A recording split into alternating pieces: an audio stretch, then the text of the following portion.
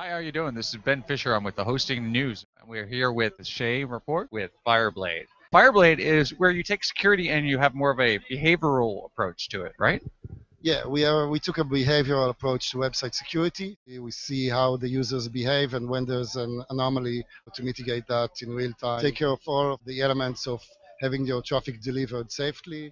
Check out the mobile app, download it, check your website out, and hey, while you're at it, check out fireblade.com. Hi, how are you doing? This is Ben Fisher. I'm with the hostingnews.com. And we have today with us a very special guest. This is Sam Renkema from Spam Experts. I started the company nearly 10 years ago, leading also to last year that we were ranked in the fastest growing companies in Europe. And then we started analyzing the market a little bit further and saw that there was a trend uh, starting base at the moment is arrive where it's supposed to arrive.